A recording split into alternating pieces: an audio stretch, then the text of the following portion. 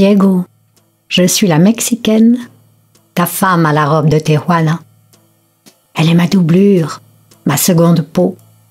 Elle m'aide à oublier mes souffrances depuis mon accident, les séjours interminables à l'hôpital, les corsets orthopédiques et une fausse couche.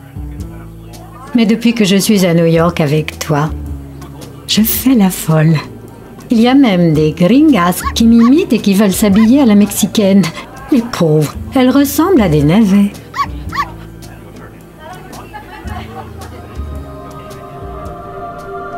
Je m'appelle Frida. Je ne suis plus sur terre. Je suis partie